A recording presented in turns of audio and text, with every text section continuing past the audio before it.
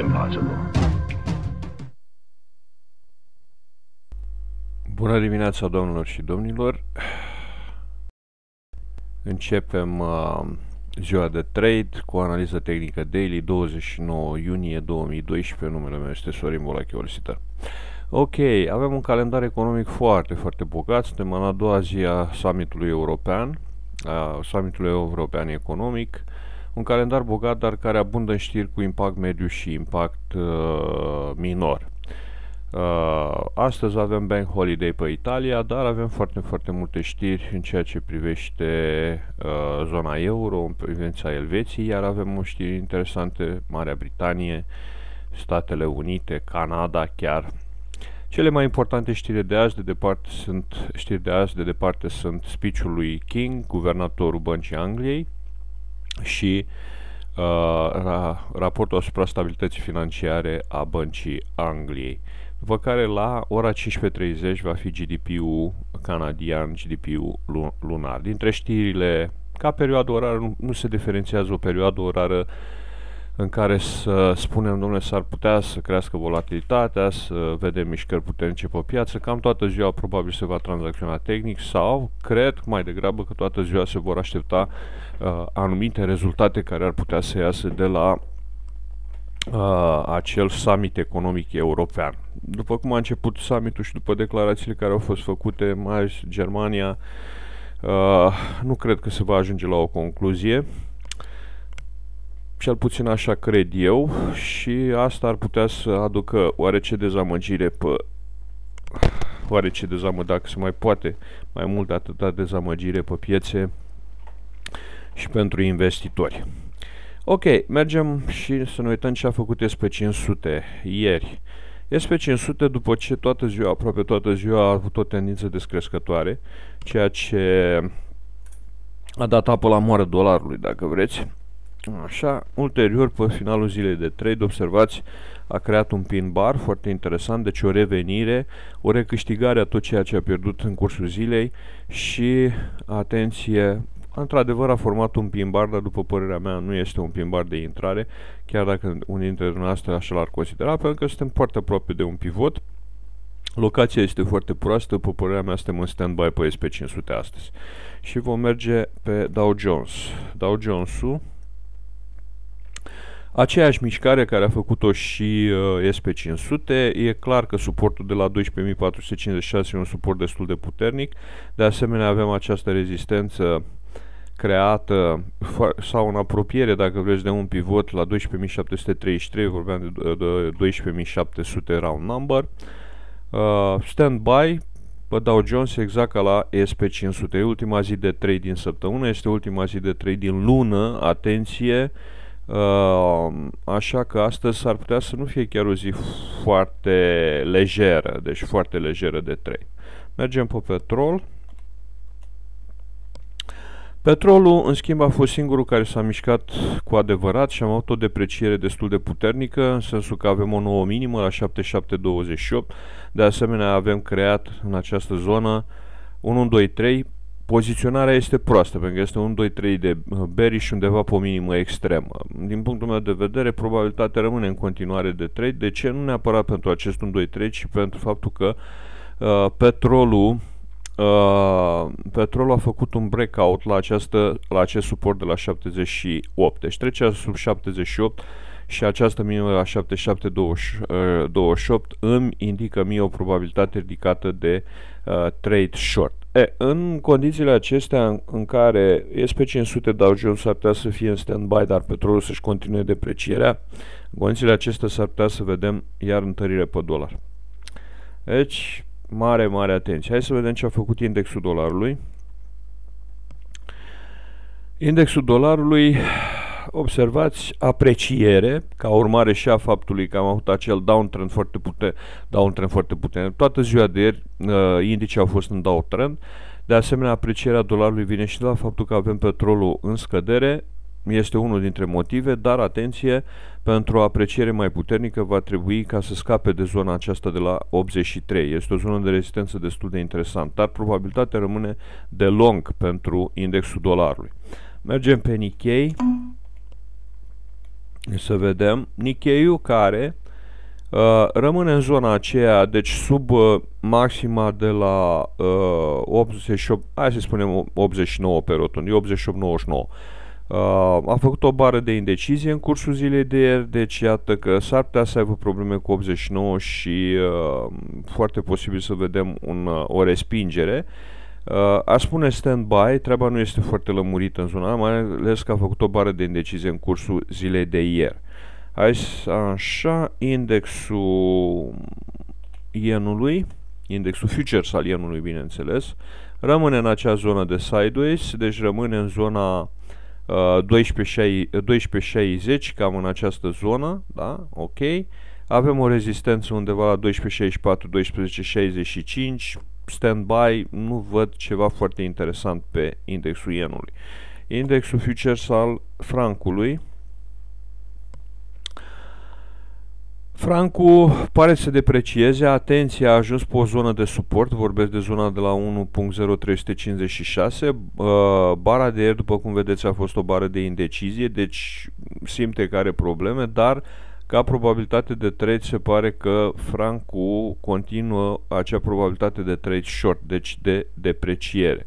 Rămâne de văzut, nu este foarte uh, decis. Cred că ieri totuși ceva s-a întâmplat pe piață în legătură cu Elveția, pentru că am văzut că și pe Eurofranc au fost niște fluctuații mai mari ca de obicei. Bine, când zic mai mari, mă refer la faptul că la un moment dat a ieșit din range-ul ăla de 3-4 pips și făcuse la un moment dat uh, a mări range-ul undeva la sau trecut peste limita range-ului cu 2-3-4 pips și asta înseamnă că s-a mișcat extrem de tare. În loc de 3-4 pips s-a mișcat 7. E de mare angajament. Ce să mai... Bă, cum să spun, noi glumim pe tema asta, dar gândiți-vă că la un cont foarte mare, faptul că câștigi 4 pips poate să uh, fie un profit fulminant. Mă înțelegeți? Deci sunt niște chestii acolo. Bun, mergem pe aur în final, GGC.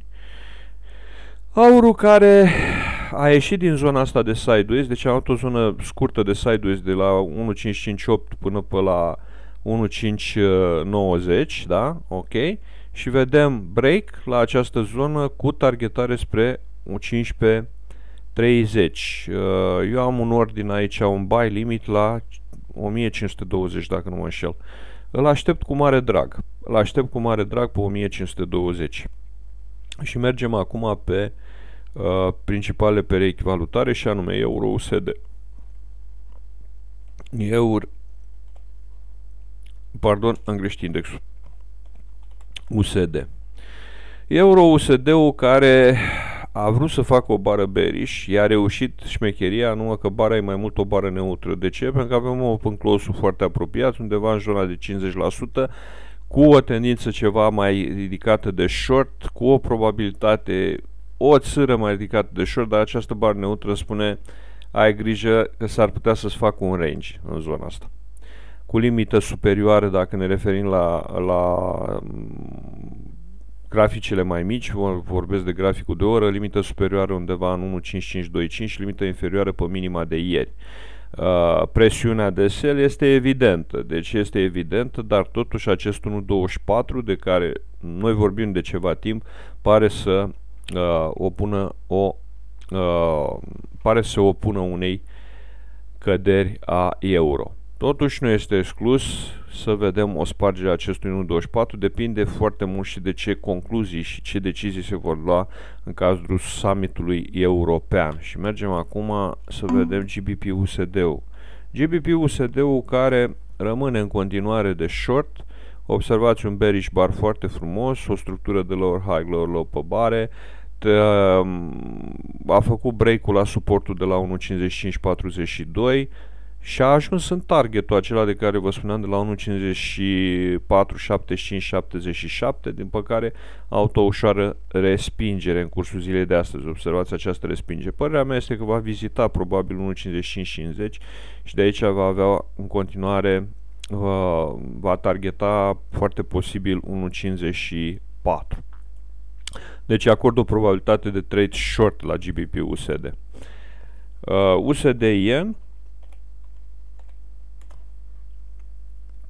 USD yenul care ușor ușor are tendința de a se întoarce pe 78. Mișcarea nu a fost fulminantă în cursul uh, zilei de ieri, am avut într-adevăr o bară bearish, părea să-și găsească un suport undeva pe la 79-20, Văd că în această dimineață tendința este de a sparge acest suport de la 79-20, probabil targetul va fi undeva spre 78-78, 78-80, deci cam în această zonă. Probabilitate de 3 short pe USD yen. USD franc